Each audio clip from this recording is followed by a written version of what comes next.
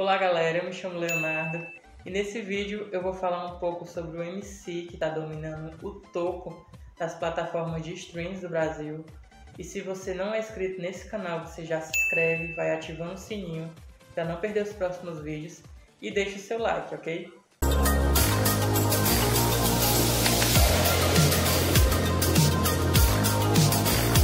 Davi Alexandre Magalhães de Almeida, mais conhecido como MC Nhaque, não tinha lançado nenhuma música até o início de 2020. O jovem de 17 anos virou sucesso após emplacar dois hits no TikTok e nas plataformas de streams.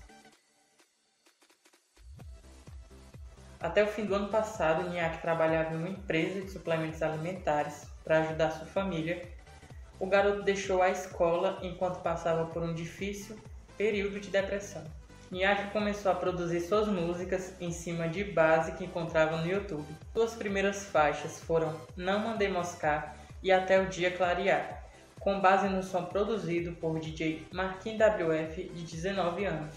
O DJ curtiu o som de Niak e resolveu chamá-lo no Instagram. A partir dessa parceria, surge Na Raba Toma Tapão, seu primeiro hit. É o Niak que chega em Brasa e dá choque no seu sistema.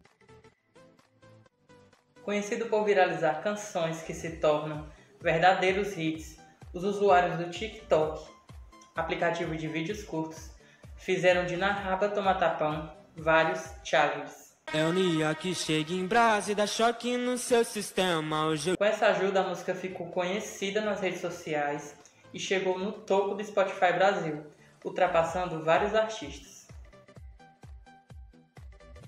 O Juliano é o mais novo hit do Brasil e o segundo sucesso de Niak, produzido pelo DJ Léo da 17 e Tuo Maloca.